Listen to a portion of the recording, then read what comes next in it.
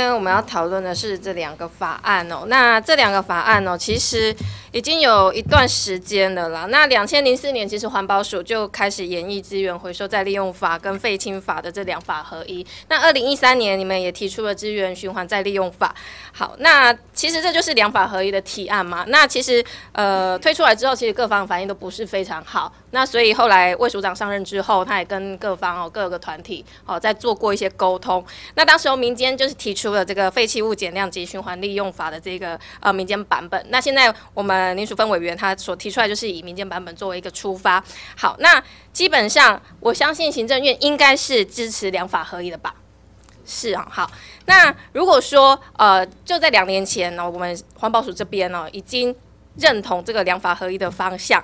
好，那也就是经过这么长的一段时间，那针对今天我们所讨论的废弃物减量及循环利用法哦，应该是可以提出一些比较具体的意见哦。但是呃，我今天看到这报告里面哦，呃，总共就是。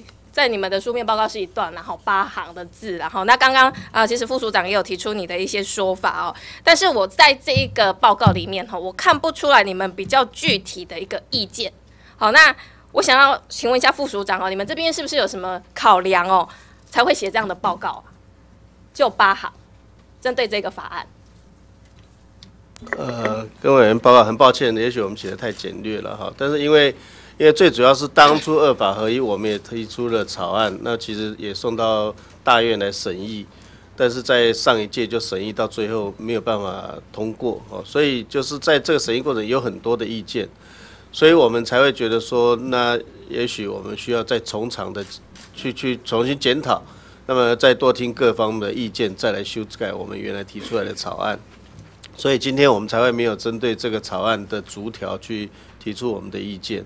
哦，所以基本上对于两法合一，我们是赞成的。对，但是经过这么长的时间，还是没有跟各方讨论出来一些比较具体的一个意见嘛？那今天就用了这八行字，然后里面我看的重点就是条文数量庞大、内容复杂，然后点点点，原建议与各界充分沟通，以凝聚立法共识。啊，如果每次报告都写这样，那我们什么时候才会有进一步的一个一个可以沟通的一个项目出来？请问一下副署长。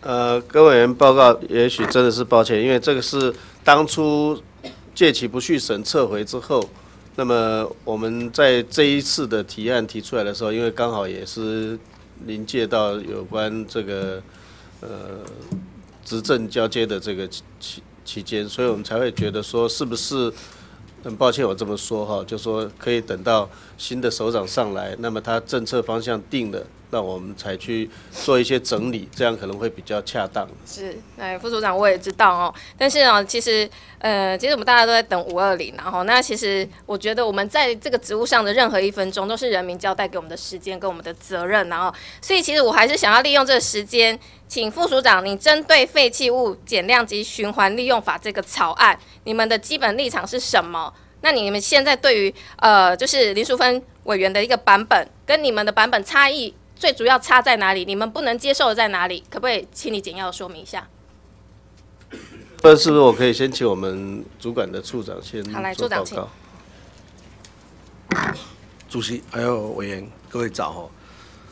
我想，因为这个时代一直在变迁，然后因为当年在讨论这个两法合一的时候，其实假如说，因为我是也是这个去年接这个处长啦，那大概来讲，这个整个现在这个。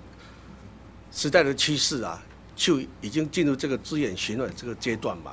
所以，假如说他们目前这个所谓追追求的这种目标，希望从这个创新产品的设计哦来减少这个废弃物，还有包括这个创新盈利的模式，而是说他不重视这个使用权，而是包括就是说使用权跟拥有权的话，要给他做一个分离的话，这可能会会做一些这个废弃物的减量。所以的话。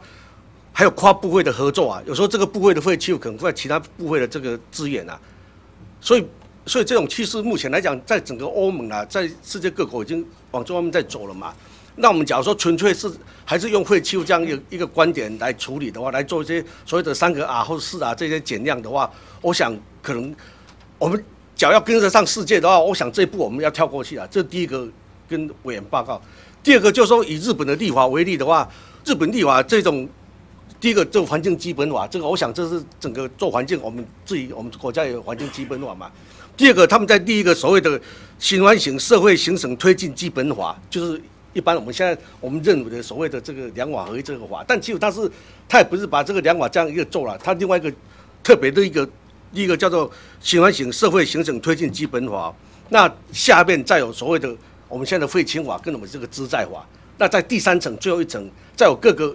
物质所谓的 recycle 就是回收哦，所以我想，假如参走这个日本这个地法这个提议的话，那在参照目前来讲，整个这个世界这种由这个线性经济到这个循环经济这样一个规划的话，我想我们是有有机会有时间，假如再跟委员或是跟委员会再做个讨论，希望把这个立法整个的话架构是不是能够更能够以世界这个趋势能够这这个跟进或是。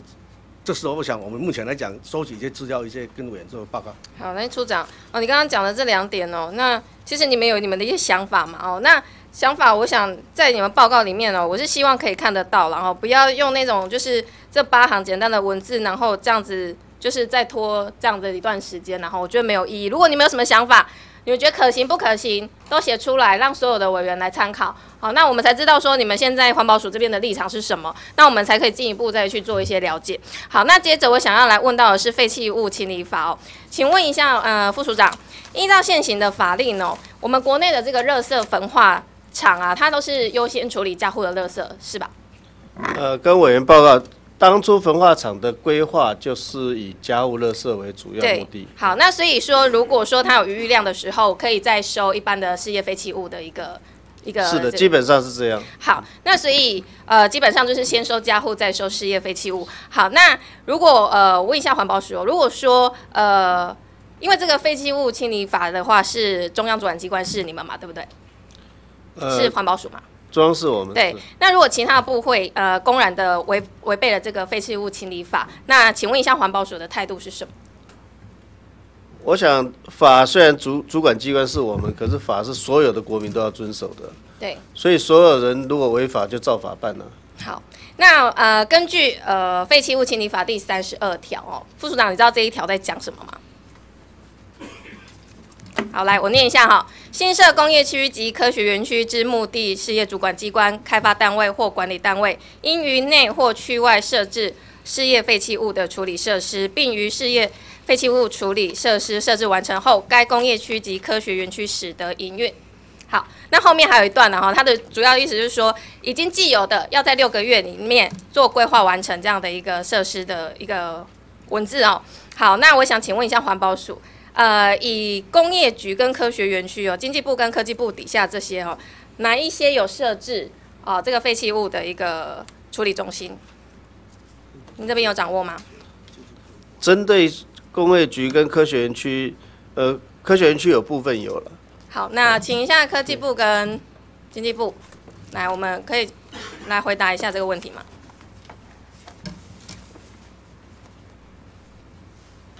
呃，委员呃，跟委员报告，因为这个呃，事业废弃物呃，这个经济部负责是所谓的这个特殊性的也有毒的部分哦。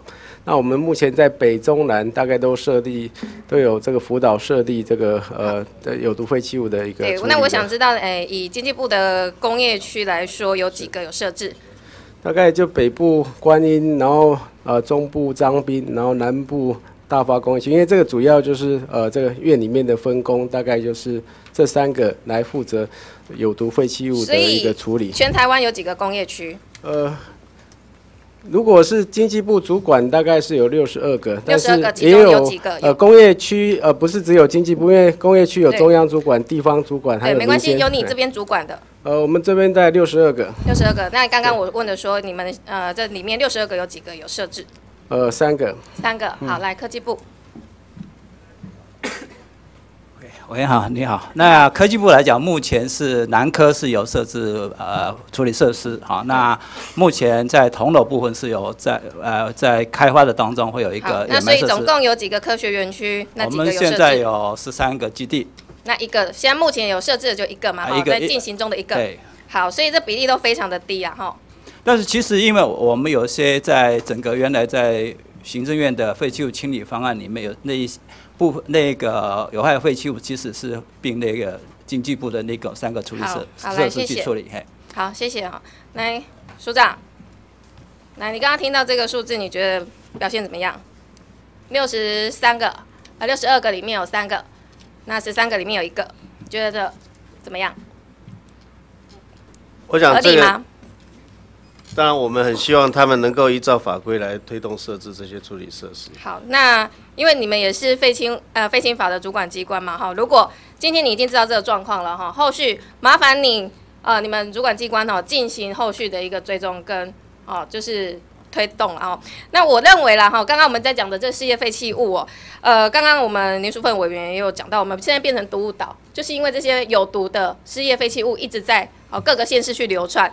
好，那我认为说，其实我们之前一直讲的社这个垃圾大战，就是因为这失业废弃物，他们很多地他们没有地方去，或者是大家去乱倒，所以这些垃圾好一直在各个地方好被倾倒。好，那呃，刚刚我们讨论到了，你有说你有报告是三十九条的这个废弃物的一个这个处理办法的目的是目的事业主呃主管机关。好，那包含了十个部会，它分别去定定他们的一个再利用的管理办法。好，但是呢，呃，这些部会根本不在意这些事情。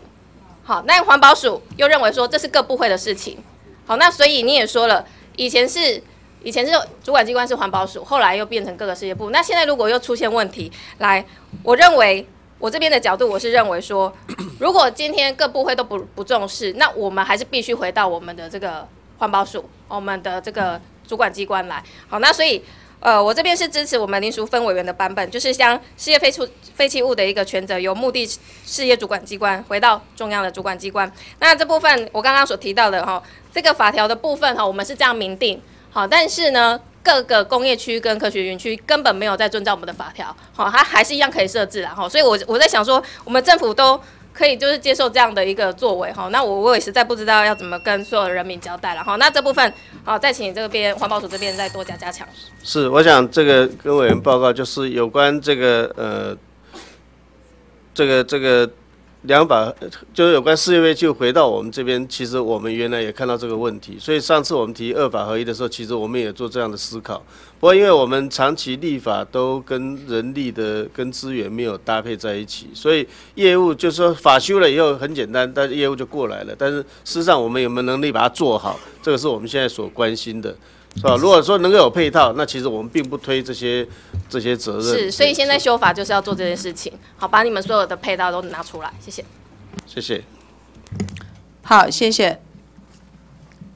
副署长，我向各位报告，刚刚一直讲说这个立法很多意见，请坐。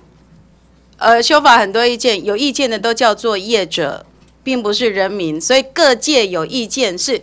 所有的业者，从制造废弃物的这些业者，因为要加重他们的成本，要叫他们负起责任，把不要把他们对环境的污染给他抛到外部化，叫国国人或社会来帮他们买单，所以加重成本，他当然有意见。回收处理业者这么多的假回收，其实行废弃之时的，或者是乱乱乱回收的，他们也当然有意见。在处理机构。呃，有一些不孝的、胡乱处理的、再处理的，他们当然有意见，所以有意见的名字都叫做业者。所以我向大家报告，二法合一的法阻挠在哪里，都叫做业者。业者有很多意见，所以今天没有办法立法，其实就是业者有意见嘛，不是人民有意见，人民期待赶快立法，好，所以这个是要讲清楚的啦。那我们是不是下一位继续请我们吴玉琴委员？